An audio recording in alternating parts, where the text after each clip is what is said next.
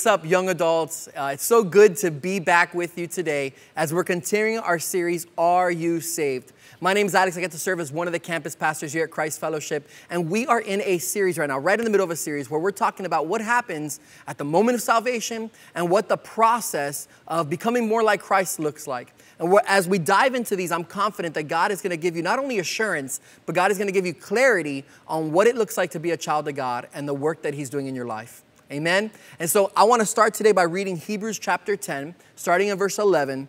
This is what God's word says. And every priest stands daily at his service, offering repeatedly the same sacrifices, which can never take away sins. But when Christ had offered for all time a single sacrifice for sins, he sat down at the right hand of God, waiting from that time until his enemies should be made a footstool for his feet. For by a single offering, he, that's Christ, has perfected for all time those who are being sanctified. Before we start, let's pray. God, we thank you so much for your word, and we thank you for the work that you do in those who place their faith in Jesus. God, as we dive into your word today, help us to understand the work that you're doing in our life. God, help us to understand what it means to be saved. And God, help us have clarity on what our lives should look like after salvation. God, I thank you for every young adult that's watching, whether it be online or in person. God, I pray that you would bless them and the family that they represent. In Jesus' name we pray.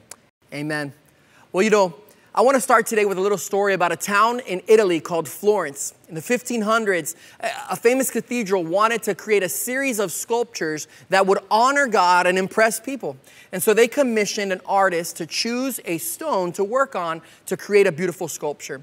This artist that was commissioned went, traveled to go find the right marble slab, and he picked out this giant marble slab and went through the process of having it moved to Florence, Italy, where he would begin working on this slab. After a little while, the artist realized that the slab that he picked, really, he felt that it was unusable. As he's trying to chisel and as he's trying to carve, really, he begins to find too many imperfections in the rock, and he even sees some veins of cracking that was happening, and he deems that this marble slab was unfit to be used for art. So as he gives up, then the cathedral says, hey, we still have this project to do, and they commission another artist. And this other artist is hopeful, comes in, begins to work on the marble slab, but sooner or later, he discovers that he feels that this marble slab was unworkable and it was unfit to be used for art. He could not see a potential for this marble slab. But that's when a young artist that we all know as Michelangelo came on the scene. And when he saw the marble slab, he felt that there was potential and that something great was hiding inside. So he began, he accepted the contract to begin the work. And he faced criticism because two well known artists had already given up on this marble slab and they felt that there was no way that a work can be done on this marble slab. You know, that brings me over to our, our main idea for tonight because for many of us, we, we come to know Jesus, we, we, we accept Him as our Savior, we ask Him to forgive us of our sins, and the Bible says that He gives us the Holy Spirit. But then there comes a season where we feel like God is not at work in our life, right? Where, where other people, they don't see God working. Uh, we, we feel that God is not working. We haven't changed to the degree that we feel that we should be changed as Christians. But let me tell you, write this down as our main point for tonight. We can be sure that God is doing a transforming work within us. Just like with Michelangelo, as everybody looked upon that rock, they felt that nothing could be done. People look at our lives at times and they feel that, are you really a Christian? Are you really saved? But I thank God that Michelangelo set an example for us in not giving up on the work that was to be done because many of you have probably seen this, but the statue that he made, the statue of David, which you can see now, it has been now known as one of the greatest works of art ever to hit uh, humanity, ever to be seen. And so in this, this statue, we see uh, just, just quality workmanship. And we see uh, really a, a, beautiful example of what the human uh, mind can come up with and what the human hands can accomplish. But here's what we know that before Michelangelo, that rock, that marble was deemed unusable, that it could never be art. When Michelangelo was asked, How did you create that? How did you know what could come? Michelangelo's words were this I saw the angel and I freed it. See, he knew what was capable, what was possible with that marble slab. And I want you to know today that God knows. God is working in your life. And that process in which God works on us is called sanctification. And today, that's what we're gonna talk about. See, sanctification is, is something that's easily misunderstood, it's easily ignored and minimized in the life of a believer. But the truth is, sanctification is a central theme in the life of a believer according to Scripture. And sanctification is not something that's even optional.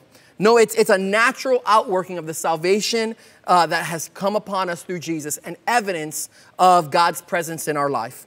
And so that begs the question what work is God doing in my life, right? What wasn't the work that God was doing completed on the cross according to Jesus? Well, today we're going to answer these questions and, and we're going to really take a look at, at the theological pillars of sanctification, namely, you know, how sanctification begins, the process of sanctification, and the purpose of sanctification. And so we're going to unpack these points. So if you're taking notes, which you should be, I want you to write this down as point number one sanctification begins with grace. See, what we need to understand is that, that it begins with God's grace, that grace is a foundation of every aspect of the Christian life, including our growth in holiness, right? Otherwise known as sanctification. Ephesians chapter 2, verse 8 and 9 says this For it is by grace that you have been saved through faith. And this is not from yourselves, it is the gift of God, not by works, so that no one can boast. See, just as our justification that we talked about last week, right, the, the, the being declared righteous by God is, uh, is a gift of grace, our sanctification or, or being made holy in practice uh, is also an act of grace. See, it, it starts with God's initiative not ours. Many people try to force sanctification. They try to be perfect. And what we need to understand is that theologically, we can see that God is the one who sanctifies us.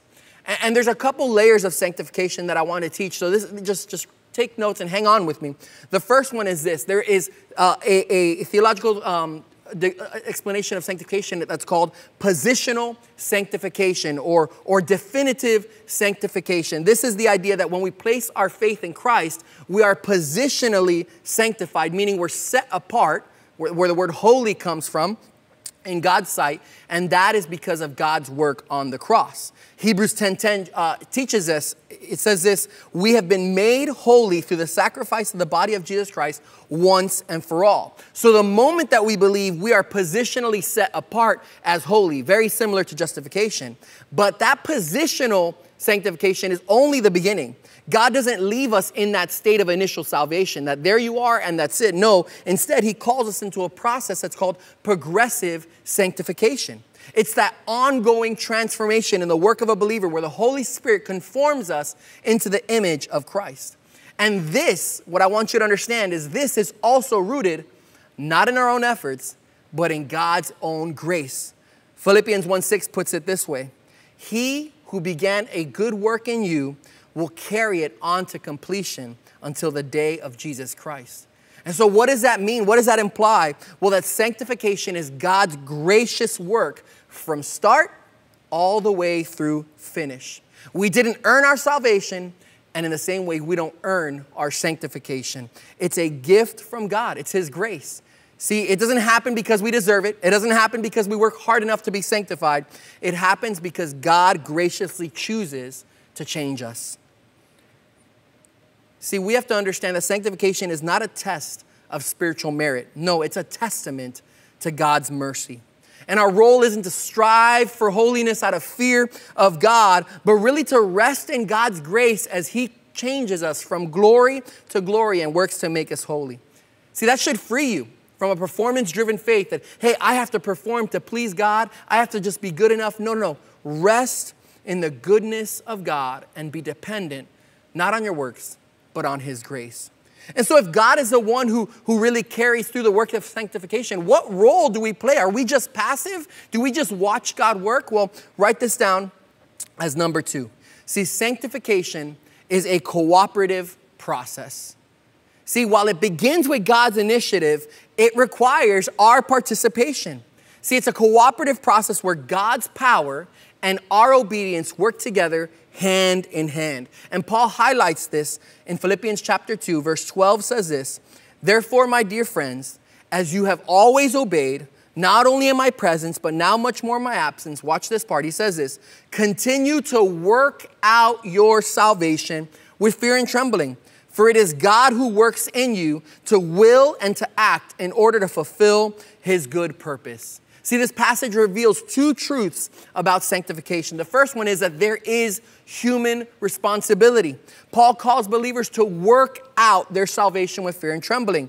See, this doesn't mean that we work for our salvation, no, but that we work from our salvation. We work from, uh, we pursue holiness, we pursue righteousness in response to God's free gift of salvation and it requires intentional effort. In 1 Peter chapter 1, you're not going to see this, but Peter calls us to be holy in all that you do, for it is written, Be holy as, as I am holy. And holiness is a command from God, something that we have to take action on and obey and cooperate with. So not only is there human responsibility, but there is also divine empowerment in the process of sanctification. So even though we are strive to, to, to we're called to strive for holiness, it's crucial to remember that Paul says that it is God who works in you. See, we're not sanctified by our strength, but we're sanctified by God's Spirit working in us. In Galatians chapter 5, 16, it says to, to walk by the Spirit, and you will not gratify the desires of the flesh. See, the Spirit is the one that oh, it helps us, empowers us to overcome sin and pursue godliness. But, cooperative, right? We must choose to walk in step with Him. And so sanctification really is this synergistic approach. It's this active cooperation with the Holy Spirit. And, this really concept, it, contrasts justification that we talked about last week, because justification is monergistic. That means it is God alone who declares us righteous and just. But in sanctification, we're called to partner with God, responding to his grace with obedience and commitment. Uh, it's the idea really of rowing a boat down a stream. See, God is the current that takes you from point A to point B, from, from, from not sanctified to sanctified. It's God is the current. But we have a choice as we sit. We have a choice to go and row with the current or try to row against the current. But here's the good news the current always wins. And so, my encouragement, YA, is for us to row with the current, that, that for us to obey and follow God's power in our life so that we can work together in the process of sanctification with God. So, how do we cooperate with that process of sanctification? Well, we practice our spiritual disciplines, right? It's not a passive experience, but it's an experience where we're not called to neglect our role, but to play a part in God's work in us. So, to be sanctified, we have to be intentional. And you know what those things are that help you to walk with God and be sanctified. It's praying, it's reading your word, it's being involved in the local church, it's serving. And so these are all ways that God uses to grow us in our understanding of Christ, mature us to have a Christ like mind, and ultimately transform us. But what's the purpose? What's the purpose of sanctification? I want you to write this down as number three. The purpose of sanctification, simply put, is to reflect Christ. See, sanctification is not about self improvement. It's not about personal satisfaction. It's not just about, about having a more uh, fulfilling walk with God. No, the purpose of sanctification is to reflect Christ. Romans 8 29 puts it this way For those God foreknew, he also predestined to be conformed to the image of his Son that he might be the firstborn among many brothers and sisters. See, those God foreknew, he predestined to conform to the image of his son. That is God's goal for us, young adults. It's for us to conform to the image of Christ. That's sanctification is the means in which we're shaped into looking like God, into behaving like Jesus, into reflecting Jesus to the world around us. And when we reflect Jesus to the world around us, we reflect his love and people come to a saving knowledge of Jesus Christ. See, theologically, the concept is rooted in the idea of imago Dei, right? The idea that humans were created in the image of God. We, we see that from the beginning in Genesis, Genesis chapter 1, where we see that God made us in His image to reflect His image to the world. But we know that sin marred this image. It distorted reality, it distorted the reflection of God's character in us. But the good news is this that in Jesus, God's plan to, is to restore that image. And the process in which He does that is what we've been talking about all night. It is sanctification.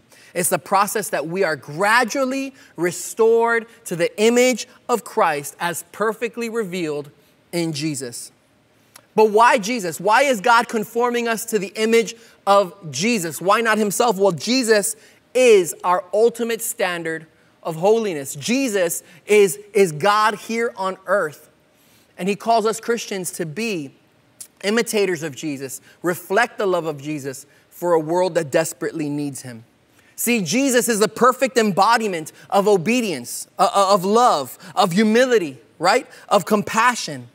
And so, in the process of sanctification, our lives become more and more accurate as a reflection of Jesus Christ.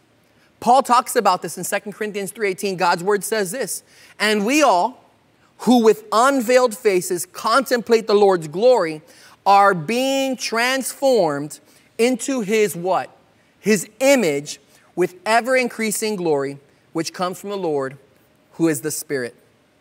See, sanctification is this spirit led transformation, changing us into what? The image of Christ for the purpose of revealing his glory to others. Sanctification is so much more than just personal morality, just being a better person, just living a more godly life for the sake of having a good life. No, it's all about bearing witness to Jesus. See, if salvation for ourselves was the means to an end, if this is God's primary goal was just to save us and only us, well, then the moment at salvation, we would be taken up in glory to God. See, but when God saves us, He saves us and He blesses us so that we can be a blessing and so that we can share the love of Jesus with others. It's how God chooses to do evangelism, it's through believers in the local church. And so, in a world marked with sin, right, marred by selfishness, a sanctified life really stands out as a powerful reminder that God is real and that He's working in the lives of people and that He has a plan for salvation. See, as we reflect God's character to others, Christ's character, we fulfill our purpose as what? Image bearers of Christ, and we draw others to the beauty of the gospel. And so, my question for you today, young adults, is do people see Christ in me? Am I reflecting Jesus' values? Am I reflecting Jesus' character, the beatitudes of Christ that he talks about? Am I reflecting the Holy Spirit's fruits so that people see that God is working in our life? Partner with God in the process of sanctification. Renounce sin. Turn from sin. Grow in virtue. Care about the things that God cares about. And live in a way that points others to Jesus. The truth is this as we live our life as Christians, the world is watching. And not just in person, they're watching our social media, they're watching our lives, they're watching the choices that we make. When people look at you, do they see somebody who's pointing to Jesus? Or as David was called, do they see a man or a woman after God's own heart? See, that's the greatest calling you have, young adult. Your greatest calling is to point people to Jesus. And not just by the way that we speak, but really by our lives. I'll close with this. There's a famous story of a woman and her Bible study. They're gathering together and they're studying the book of Malachi. And as they're studying, in chapter 3, they come across a verse, verse 3, that says this.